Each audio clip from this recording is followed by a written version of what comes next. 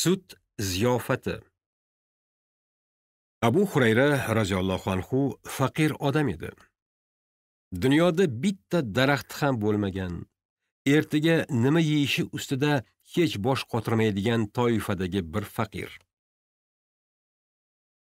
Ko'p martalar ochlik hissini ketkazish uchun qumni tepalikcha qilib to'plab qornini bosib yotgan. Ba'zan qorniga tosh bog'lab yurardi. Masjidda ochlikdan yiqilib tushgan hollari ham bo'lgan. Atrofiga to'planganlar uni tutqanoq tutib qoldi deb o'ylab tomog'idan bosishgan. O'sha kuni ham juda och edi. O'rnidan turishga qimirlashga holi yo'q.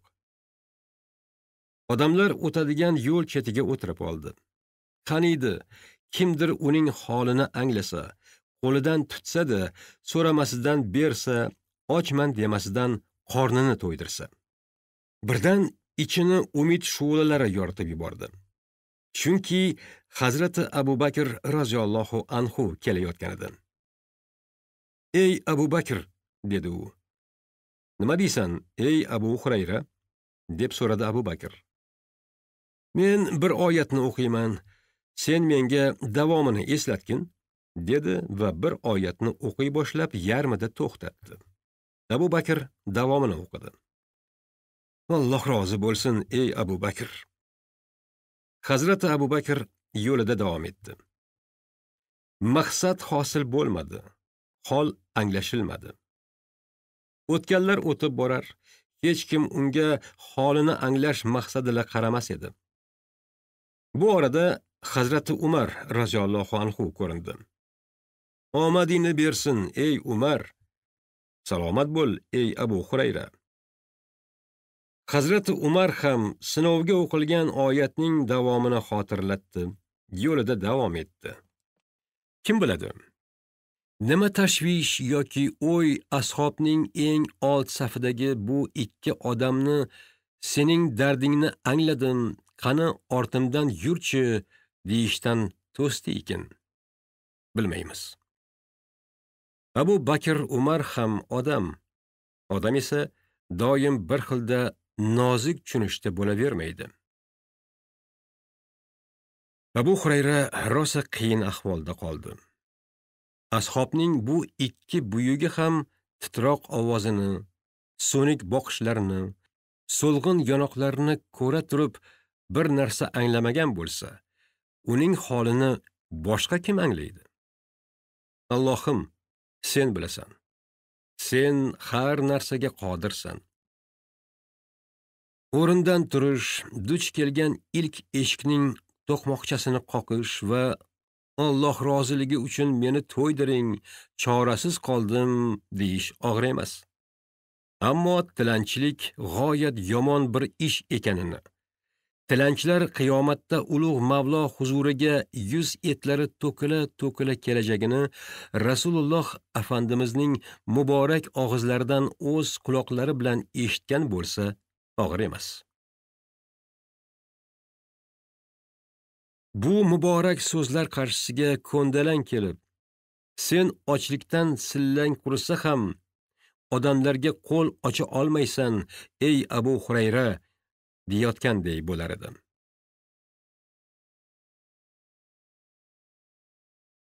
shu kabi chayqalmalar orasida qolgan ruhga gap uqtirishga harakat qilarkan izlaganingni topding degan so'zni eshitdimi yoki rasuli amin janobimizni ko'rgan zahoti zehnida shunday bir tushuncha tug'ildimi? Buni abu hurayra bilmaydi. Bu daf'a oyat payg'ambarlar sarvaridan so'raldi.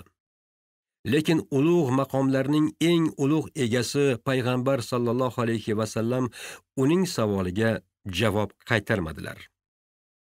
Ortimdan yur dedilar. Bu buyruq bajariladi. Chunki bu buyruq holdan anglaydiganlarning eng ustunidan insonlarning eng jo'mard va eng fazilatlisidan kelayotgan edi. O'rnidan turdi. Va umr bo'yi izidan boradigan aziz rahbarning ortlariga tushdi. Allohning eng seviklisi sallallohu alayhi va sallam uylariga kirib ketdilar. Abu Hurayra roziyallohu anhu eshik tagida qoldi. Kirsam bo'ladimi, ey Allohning payg'ambari, deb saslandi. Ha javobini olgach, ichkari kirdi. Kambag'al bir odamning uyi ham bu uydan soddaroq bo'lmasa kerak. Rasululloh janobimiz bir idishda ozgina sut paydo bo'lib qolganini ko'rdilar. Bu sut qayoqdan keldi? deb so'radilar. Uni sizga falonchi hadya etib berib ketdi, deb javob qilishdi ichkaridan. Janobimiz mehmonlariga qayrildilar. Ey Abu Hir, dedilar. Hir mushuk ma'nosida keladi. Labay. Abu Hurayra hozir 100-500 ishonch bilan qani mana bu sutni ichchi degan taklifni kutgan. Eng kamida shunday deyilishini orzu qilgan edi. Holbuki olamlarning faxri sallallohu alayhi va sallam borib sufa ahlini boshlab kel dedilar.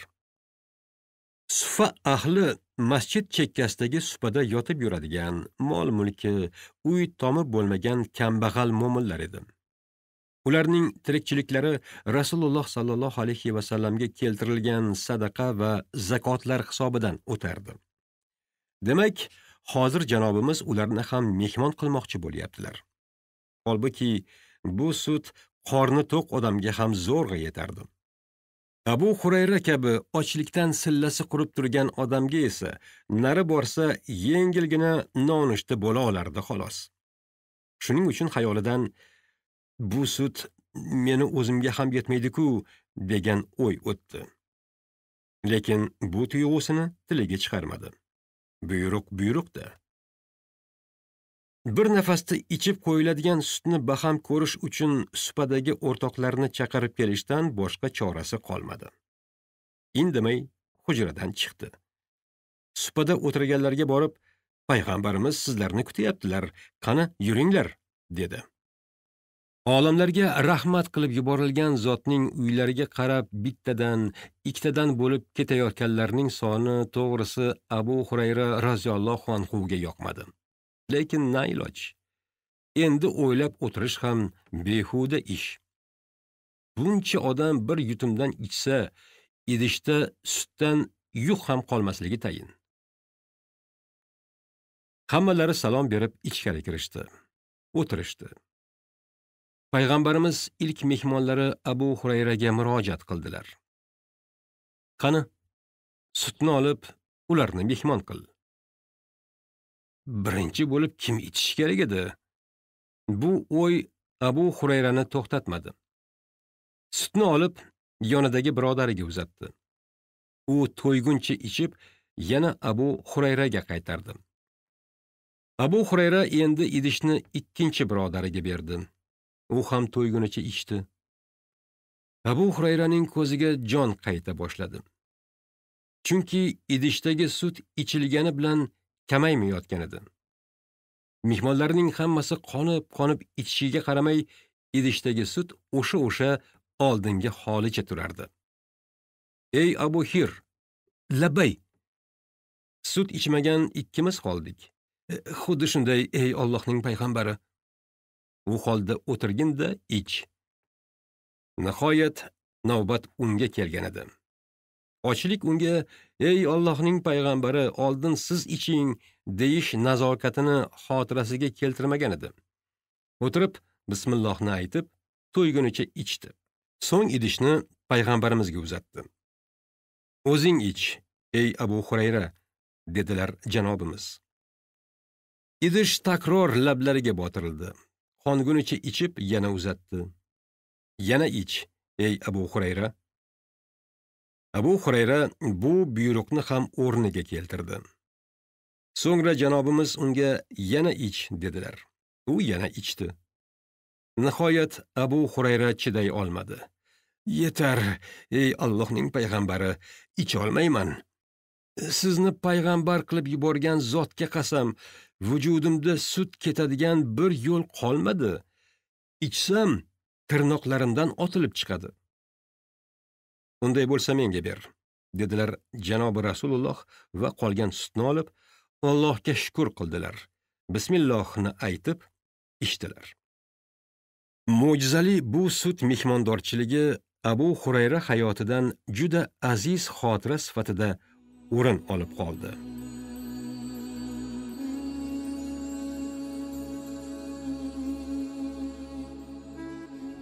Urva ibn Mas'udmi, Habib Najjormi? Toyif xalqining peshvolaridan Urva ibn Mas'ud Makkada ham e'tiborli odam edi.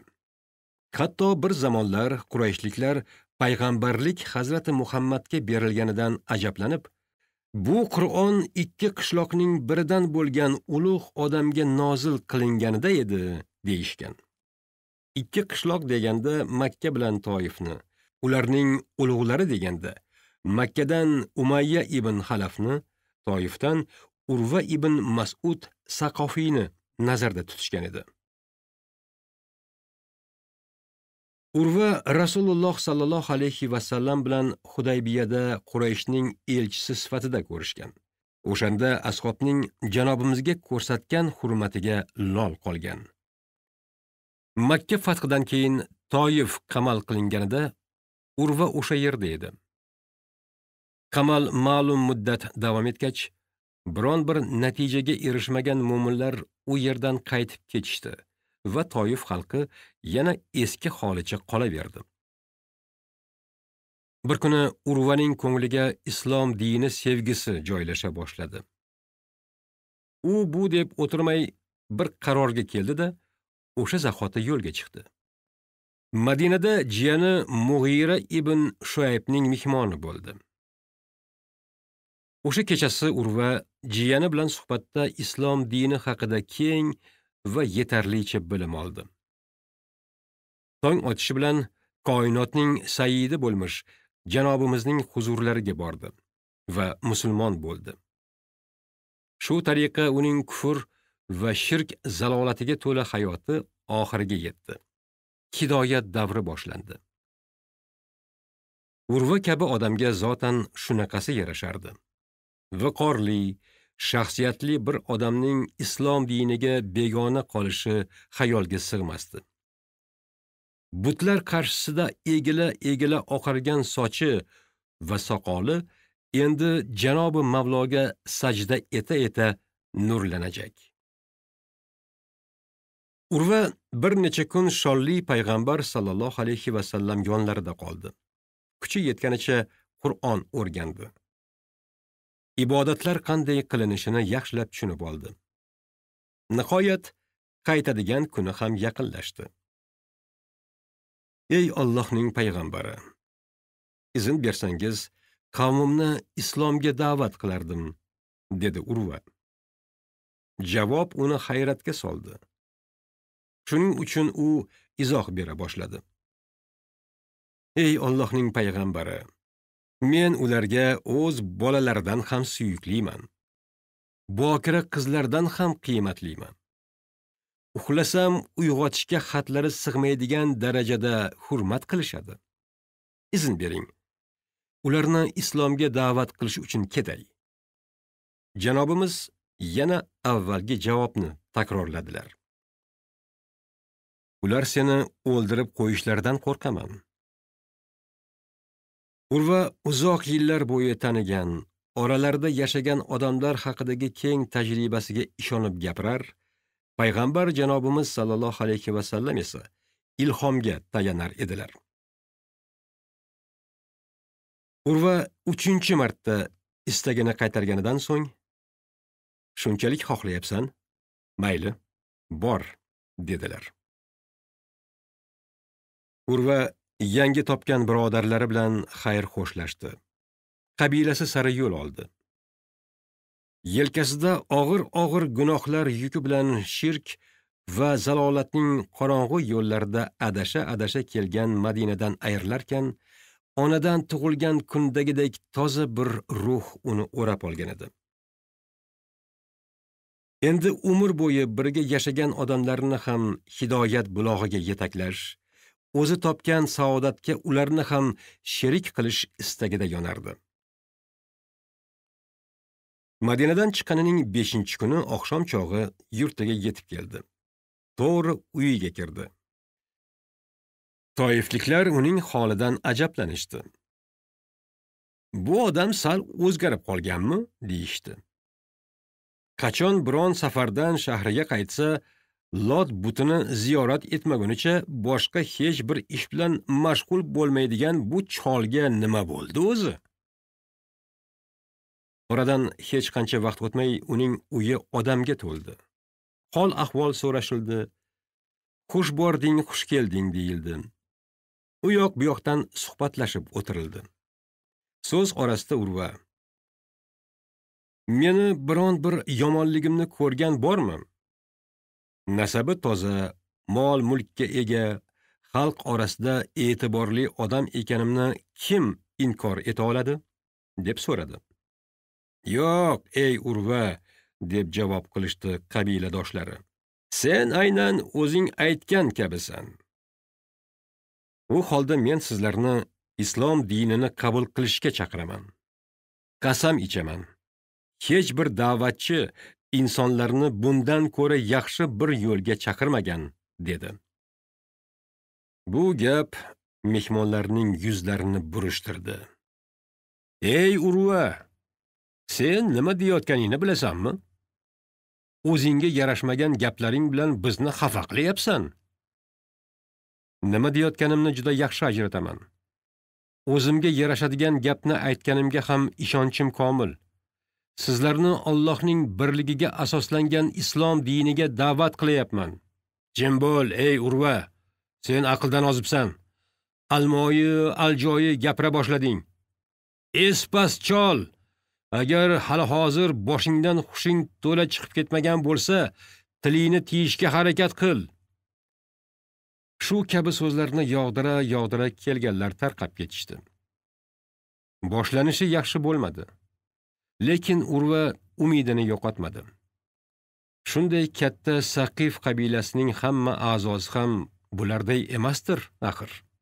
Ichlarida aqlini ishlatadigan, to'g'ri yo'lni qabul qiladigan odamlar ham topilib qolar. Qani, tong otaversinchi, deb yotog'iga kirdi. Tong otgach, tomiga chiqdi. Azon chaqirdi. Namozini o'qidi. Nimalar bo'layotganini bilish uchun to'plangan odamlar o'zining islom dinini tanlaganini, eng to'g'ri din islomiyat ekanini tushuntirish uchun tom chetiga keldi. Sizlar ham bu dinni qabul qilinglar, deb xitob qildi. Shu zahoti yonginasidan bir o'q vizillab uchib o'tganini his etdi. Ikkinchi, uchinchi o'qlar yog'ildi. O'zini qo'rmoqchi bo'lib ko'targan qo'li bir o'qqa uchradi. Naq bilagiga kelib sanchilgan edi o'zi ham. Keyin o'qlar tanasiga ham sanchila boshladi. Bu orada pastdan "To'sh pastga, dinsiz harif. Oq soqolingdan uyal, sharmanda. Rosa aljirading. Endi senga quloq solishni xohlamaymiz." kabi baqriq chaqriqlar avjiga minavergach, urva qonlar ichida tomning narrog'iga chekindi. Quloqlari ostida suyukli payg'ambari sallallohu alayhi vasallamning ular seni o'ldirib qo'yishlaridan qo'rqaman degan so'zlari jaranglaganday bo'ldi. Qurollanib kelgan qarindoshlari uni oxirgi nafaslarini olayotganini ko'rishdi. Ey urva, qoning yerda qolmaydi. Qasosing olinadi, deyishdi ular. Urva ingrab, chiranib bir ikki so'z dedi. Men qonimdan kechdim. Hech kimni hech narsa qilmanglar. Bu ish menga Allohning ikromi va menga ko'rsatgan shahidlik ne'matidir. Rasululloh sallallohu alayhi va sallam bilan birga yurganlardan bu tuproqqa yiqilib shahid bo'lganlariga nima berilsa, menga ham o'sha berilajak. Meni ularning yoniga ko'minglar. Men guvohlik beraman. Muhammad Allohning elchisidir. Toifliklar meni o'ldirishlarini menga u aytgan edi, dedi. urvaning oxirgi so'zlari shu bo'ldi uzoq yillardan beri butga egilgan boshi kufr va shirk yo'lida oqargan sochi. Parvardigorini tanimasdan yo'lida bukilgan beli uni jahannamning eshigiga olib kelib qo'ygan bir paytda. Birdan yuragiga esgan rahmat yellari uning yo'nalishini o'zgartirgan. Yo'lini madinaga burib yuborgan. Rasululloh sollallohu alayhi vasallamning huzurlariga olib kelgan edi. Musulmon bo'lib yashagan kunlari umrining 200 dan bir qismicha ham kelmaydi. Ammo endi u oliy jannatlarda izzat ikrom ko'rajak. Islom tarixchilari uning oxirgi hayoti uchun nomini har eslashganida Alloh undan rozi bo'lsin deb duo qilishajak. Hatto u haqida o'ldi deyish ham to'g'ri bo'lmayajak. Chunki u oxirat olamiga shahid o'laroq ketdi. Odamlar anglab olmaydigan darajadagi mukammal bir hayotga erishdi. Bu yoqda janobi payg'ambarimiz sollallohu alayhi vasallam uning shahid etilganini eshitiboq yasin surasida kelgan habibi najjorni esladilar. Ummatlari orasida ham o'shanday odamni yetishtirgan mavlolariga hamd va shukrlar taqdim etdilar. Bu hodisadan bilinishicha Habib Najjor ham Allohga da'vat yo'lida qavmi shahid etgan va malaklar jannatga olib ketgan zot edi. Ya Rasul al-mahabba, ya Rasul as-salam, ya Habib Allah